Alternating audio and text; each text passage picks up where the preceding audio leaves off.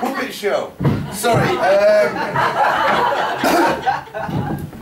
thank you very much. Uh, can I just have... This is one of the best spoken word nights I've actually been to. It's been fucking. Big round of applause for Johnny, please. Big round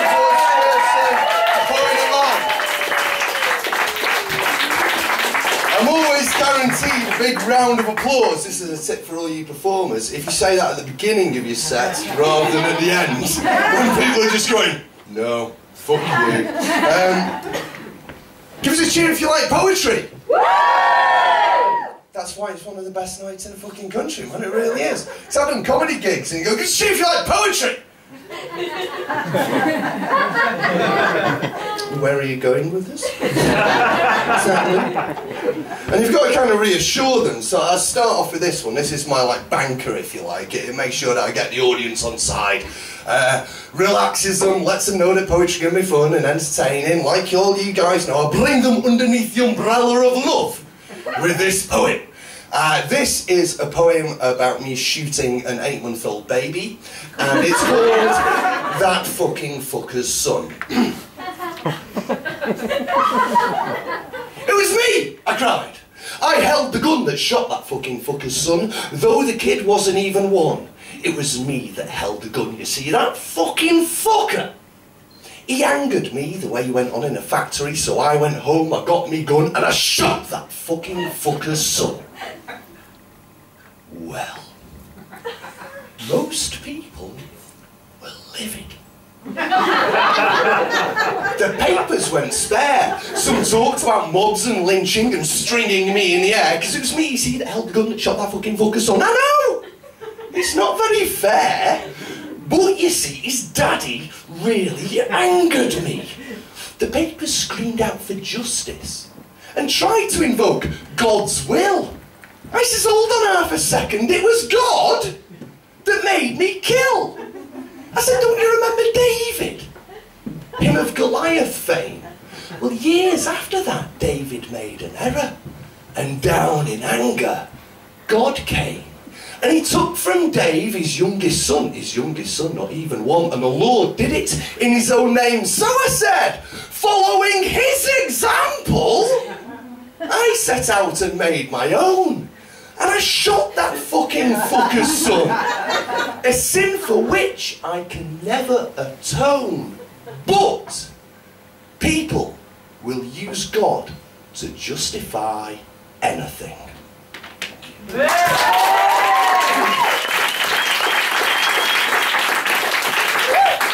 Thank you. I'd also like to say it's fucking wonderful. This is my first gig in the Northeast. and I lived here for 10 years, man. I lived in Ashington and. I loved it. I really, in fact, this is the last t-shirt I bought here. And uh, if anyone knows if the Star Spangled chest wigs are still going, go and see them. They're fucking amazing. Um, this is a, a poem. Yeah, it's kind of religious as well. I'm not a very big religious man. Like my dad's uh, Muslim. Uh, he drinks more than I do. Um, my mum's C of E. And uh, they took a very Buddha-like approach to my religious upbringing. They just went, fuck it, find your own path. Don't go to the mosque. Don't go to church. Find your own fucking path. What? You want advice? Be nice. That's it. Now fuck off. That was pretty much my religious upbringing. But this is, uh, have you ever been to someone's dinner party? How middle class am I? Have you been to a dinner party and you've played the dinner party game? With someone, you, you can, right, you can have anybody from history at all. Anybody from history at all. At your dinner party, and they always ask you when you're at theirs, it's like, what, you'd rather Hitler was here than me? Feed me. Um, but I took that as like the basis of this, and at my sort of dinner party, I would have my perfect dinner party. I would have God and Richard Dawkins, just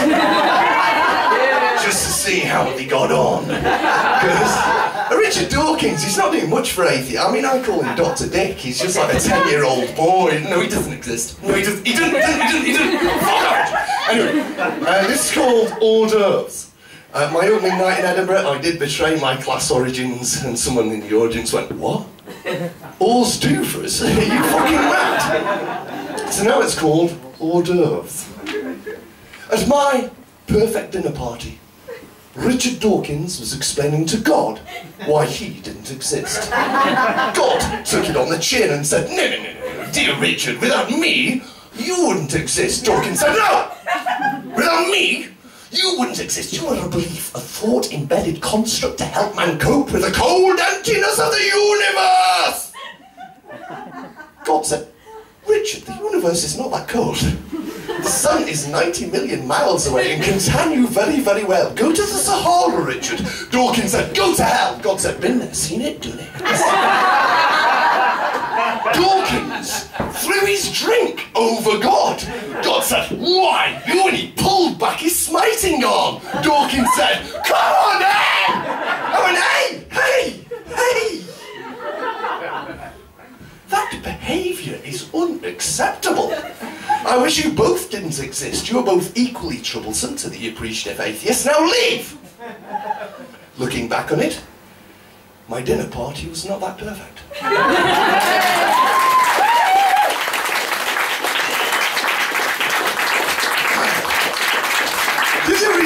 Thank you very much, and you're fucking amazing, you guys. Uh, I've got a, a, little leaflet that I'm not leaflet. It's a chapbook, apparently.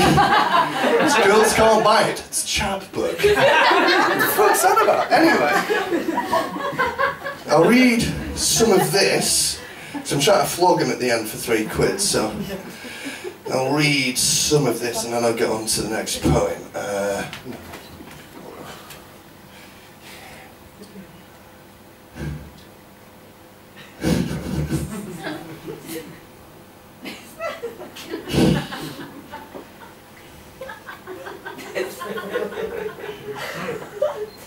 That's fucking brilliant. If you'd like to read it, see me afterwards. One of the reasons I don't like religion, uh, A, the homophobia, and B, just the fucking stupidity. Uh, going back to the homophobia, I live in Manchester, which is the gay capital of the UK.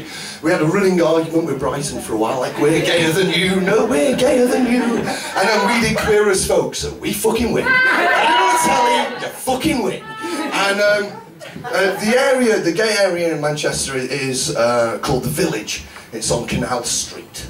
And whoever did this is a fucking genius, and I don't care if they're homophobic, homosexual, bisexual, trisexual, transgender, whatever, fucking genius.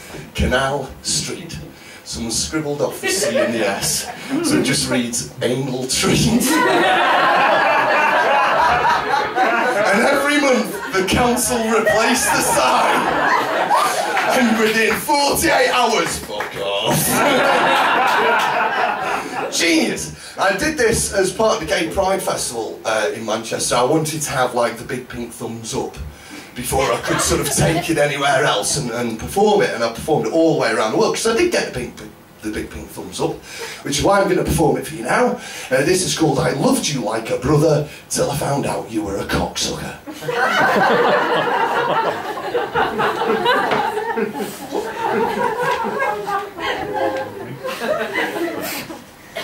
Dead!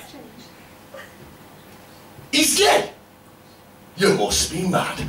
I've known him since we were lads. Never, never in all the world. He hung around with a load of girls. He pushes poo. pushes poo? Look how twat you mate if I fucking have to. He's queer as fuck. Queer as fuck. Won't smile on your fucking neck broke. Now wind it in, you're having a laugh. That lad's as queer as I'm giraffe. Here he comes now. Say it to his face. Did you hear that, mate? Tell him. You're straight. What? what? What do you mean? You're not. Me mate's as straight as black lace.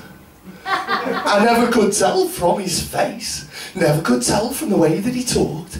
I couldn't even tell from the way he walks. He's always been a stand-up geezer. I mean, he put me to bed when I was in Ibiza.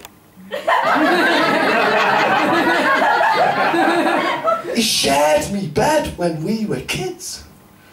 I wonder now what he was thinking behind closed lids. Then at school we shared the showers. At times he's seen my cock out up to hours, days, and he's gay. I'm sorry, mate. We've got to part.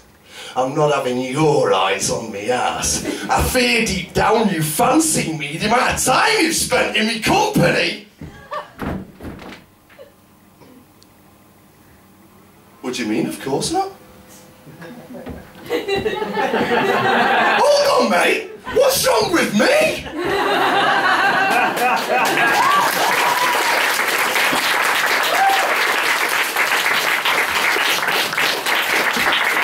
All poets talk about love, and I am no exception.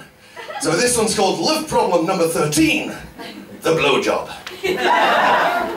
she sucked me in the morning until the end of night.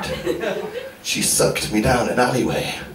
Well, out of plain sight, her tongue flickered around my bumhole and it wrapped around my eggs. And when it was all over, sorry, mum.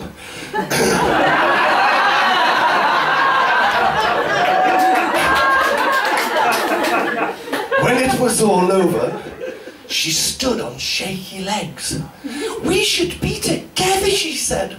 You'd never have to wank. She wiped my cum from her lips and introduced herself as Frank. that one's uh, based on a true story. Uh, that one.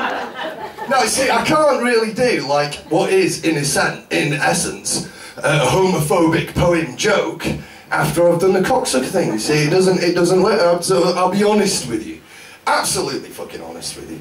The only thing I have got against homosexuals, right, seriously, is occasionally my cock. no, seriously. You're walking down the street and someone says, fuck me, monkey, you look right depressed. Would a blowjob help? and you think to yourself, probably would. if not, definitely worth a try. there aren't many problems that you face in life that can't be in some way eased by the good application of oral sex. In fact, I'll take that back. Good or bad. The, you know, it really. Uh, I, like every other straight man in this room, I am 90% straight. 90%. We need that 10%. That 10% is the oil on the wheels of civilization and keep the thing rolling forward. You need that 10% to be able to go, cheers, Bob. It is a new haircut. you need that 10% to be able to watch the football and go, Giggsy, lovely little mover. you need that 10% to be able to go, Tony, that was the best blowjob I've ever had in my fucking life, mate. We need that 10% because without it, we would be living in this 100% straight, testosterone fueled, Mad Max apocalyptic vision of the future. And if anyone can remember Mad Max, big, big muscles, tight, tight leather. 100% straight is completely gay, but in denial. Look at Putin and his horseback riding. Yeah, take a photo of me, baby. Take a photo of me, baby. Yeah, I'll do it for you. Yeah, tease my nipples. You love me. Um, it's fucking weird. We live in the age of the metrosexual folks, and let's face it, there is nobody out there that can quite bend it like Beckham. Um, this? Oh, I'm going to run out. Oh, it's St. George's Day yesterday. Hey, St. George, England, we're nice. Yeah, exactly. Everyone doesn't know where they stand on that at the moment. Yeah, oh, colonialism. Maybe. I don't know. Yeah, football team. Uh, big shit. Uh, so I wrote this one for the BNP. Um, it, was, it was when they got into um, the European Parliament, which I, was, I thought was fucking brilliant. The BNP got into Europe, and I was like, yes, learn that other countries exist. This is so educational. And it's the same with UKIP now, you know, because fuck, we have got to stop the rise of UKIP. Ten years ago, they had no MPs, and today, they have no MPs. the indomitable rise of UKIP. No, you are cunts. Um, This is actually, I did introduce the BNPers come to uh, Edinburgh and I got heckled by a 73 year old lady in the audience. And what was even worse, she put a hand up to heckle me. I know. And I went, I've got a racist grandma in the audience. How do I deal with this? Ah! And so, you know, because when you get heckled, man, you've got to fucking shoot the audience down immediately. You've got to show you are the person in charge. Act audience, you're in control. I couldn't say anything to this woman because she came from the back, so no one had actually heard her say anything. So it'd just be me attacking a 73 year old woman for no real reason whatsoever. So summoning up the, all of the hours and experience that I have on a stage, I turned around and went, Yes, me love. what seems to be the problem? I said, I object. I object to you describing the BNP as cunts.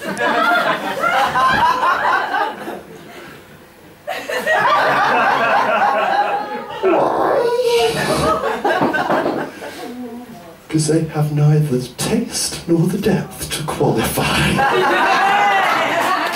And I ran off stage and gave her the biggest fucking hug I could. So this is dedicated to her and it's called St. George. Cry For Harry, England, and St. George. Wrote Shakespeare the Bard and made him ours, the ever ready, reliable St. George who stuck with us through two world wars. St. George, patron saint of syphilis. and so he spread like a disease and conquered all the seven seas, bringing civilization with cutting steel, a hearty huzzah and a damn good eye for the other fellow's real estate. For God and Harry and St. George, patron saint of Beirut. And there the dragon he did slay in a place aptly called St. George's Bay. For God and Harry and St. George, patron saint of leprosy. Like a leper's skin, the empire cracked, bits fell off, the system nearly collapsed. The dust inside began to weep, and by the way, St. George is also patron saint of sheep. For God and Harry and St. George, patron saint of the Teutonic Knights. The I must admit I was a bit surprised, but we won't dwell on the wars or economic zeal. Instead, move along to a different field, cutting through the mystery. Let's have a look at this man's history. St. George was a Roman soldier from Anatolia, born in the late 3rd century. All sources are, however, hagiography, which means not the verifiable truth. In 303, he was ordered to take part in a persecution, but he confessed himself to be a Christian and he criticised the royal decision. An enraged Diocletian ordered torture, followed by execution, so he was lacerated on the wheel of swords and then decapitated outside Nicomedia's walls. For God and Harry and St. George, the shout still out in a world of sports where every shaven head is clad in a white and red striped flag, and we still cheer at the sight of the crest, and despite all evidence, just look at the World Cup that's coming up. We hold that England is the best! For God and Harry and St. George, patron saint of agricultural workers, archers, armourers, butchers, sheep, shepherds, field workers and farmers, Petouch, the Order of the Gazas, riders, satellite, Stanfield soldiers, Canada, Cabaretier, Catalonia, Ethiopia, Florida, Italy, Genoa, Georgia, Lithuania, Malta, Monaco, in Sicily, Slovenia, Amersfoort in the Netherlands, Corinthians, a Brazilian football team, and naturally England, equestrians, Palestinian Christians, and a Sith, Palestine, Aragon, Beirut, in Lebanon, and Venice, Gozo, Moscow, Constantinople, skin disease, Lord, the plague in Portugal, cavalry, chivalry, Haldane in Germany, horses, horsemen, husbandmen, leprosy, the Scouts, Greece, herpes, hiding in the Teutonic Knights. Ladies and gentlemen, I give you George. He's the patron saint of everything in sight.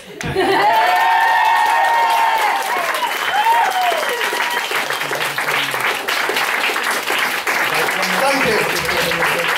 You guys are absolutely fucking brilliant. Um, I can. I've got a choice for you now. I can either stick to me time or I can run over. And it's to you, because I can, I can give you... I can give you the introduction to the poem, or I can give you the poem. Introduction, poem. Okay, introduction might be run over. No, just do it. The worst gig that I ever did was in a place called Harrogate. Do you all know where Harrogate is? It's free posh there, isn't it? I didn't know that. And I was supporting a TV comedian at a comedy club. And I killed the audience in a bad way. I, I should have fucking known, man. I should have known when. It's the only comedy gig that I've done that had fucking chandeliers. I should have known, but I didn't. They shouted me up. And what I did was I likened the current government um, to a horror film. Um, Hostel, if anyone's aware of anyone's aware of that. And what I did was I had the spirit of Britannia over here and she was 21, and she was beautiful, and she was naked. Her nipples pointed to heaven, her vagina was shaven in a neat little landing strip motif. Sorry, mum. It's quite, quite delicious. Something wrong with the picture. She's chained upside down to the ceiling. And in through this doorway, with his pudgy, smug face and his stupid fucking suit, comes George Osborne.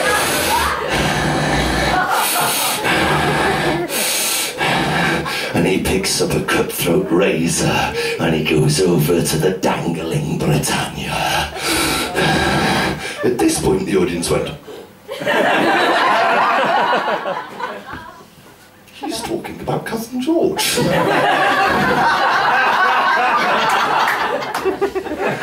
George goes, cut, cut, cut. I'm going to see how many cuts you can take before you die. I'm watching on a monitor 150 miles away in an underground bunker a Cameron and Clegg, and they're just mutually masturbating each other like this. And Clegg's turning around to Cameron going, I'm not too sure about this, Dave. I am not too sure about this at all. I did not sign up for this, man. I, he's going fucking mental in there. He's going mental. And Cameron's just going, harder. Jump on the train. Choo choo choo choo choo choo choo choo choo choo choo choo choo choo choo choo. And George has gone mental in this dream. He slices over the stomach and removes the intestines, the guts of the country. That's the armed services. Don't worry, we don't need them. G4S will take care of everything. And then he pulls out the heart of the country. I'm sorry, that's a nation's youth. Kids, you want an education, it's going to cost you 50 fucking grand. Then he starts severing away at the breast of the country. And I'm sorry, folks, that is the nipple that we all suck from. It's the NHS. And it is going. They're getting rid of it. They do not like it because it gives us something for free. That is how evil these people are. Boom! At this point, the audience were like this.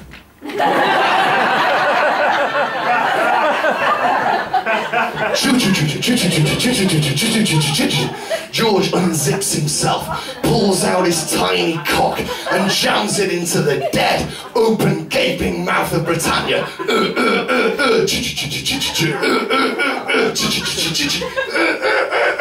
They jizz all over the screen. Osborne jizzes into Britannia's mouth, and George Osborne's jism is a mixture of acid, bile, and pure fucking smugness! and it melts through her brain pan, and her brains hit the floor like wet semolina. And over here, Ooh. Ooh. Cameron. He says, I told you, Nick. It's just like it was when we were at school. I didn't get invited back.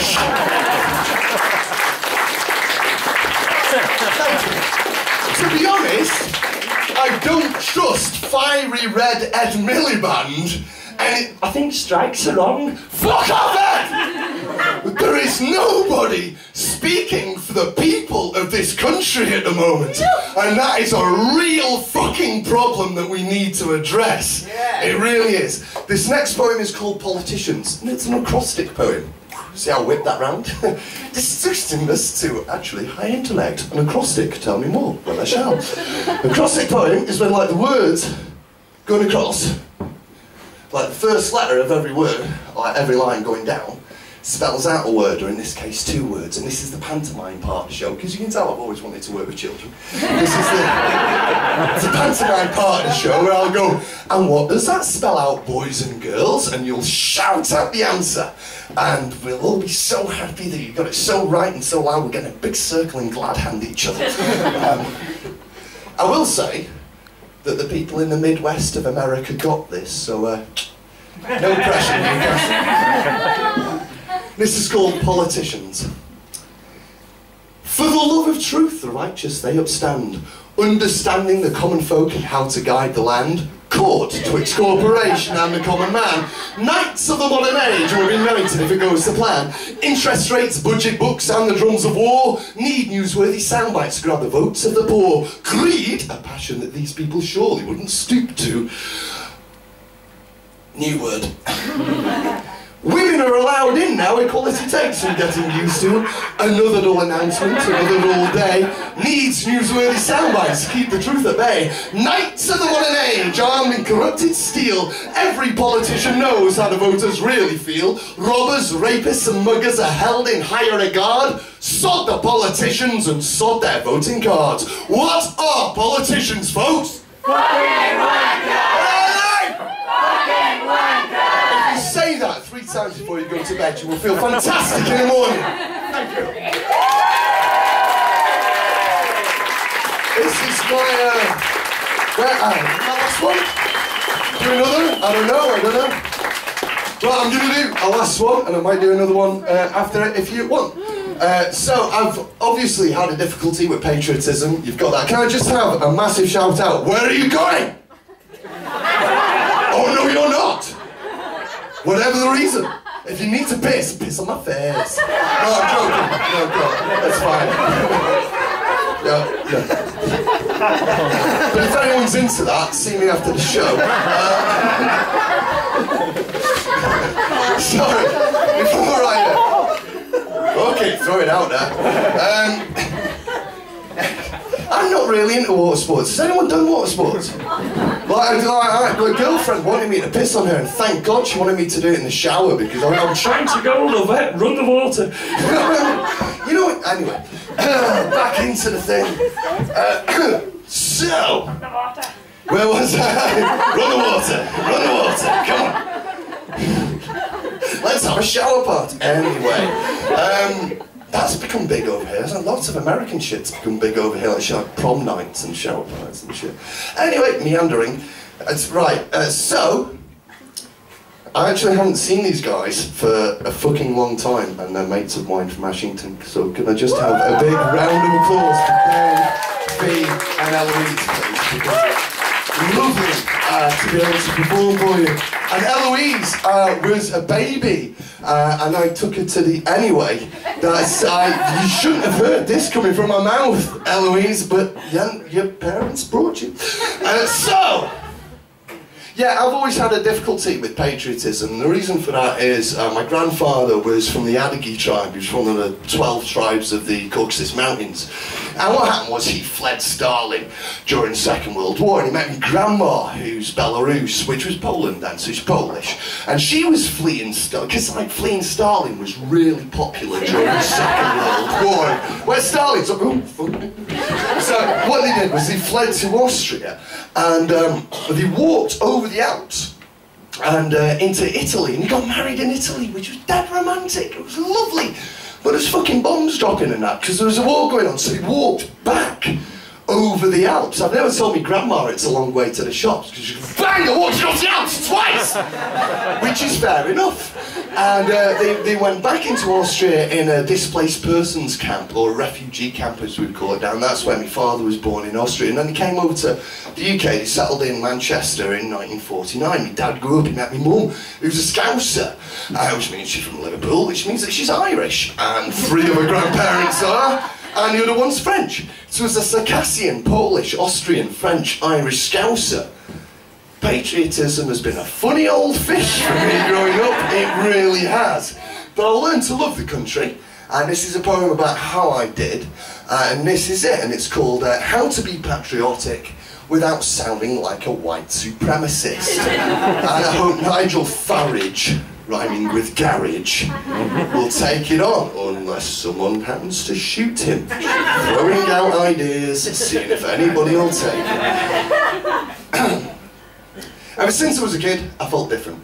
The only child at school with Circassian name at the height of Reagan and Thatcher's anti-Soviet game made me understand the term, the reference and a frame for that word, outsider. And growing up in society, I noticed the have-nots, the have-not-a-lots, and the hypocrisy of the people at the top. My first time as a protester was age seven, trying to stop Margaret Thatcher taking away free milk from schools. We tried, we failed.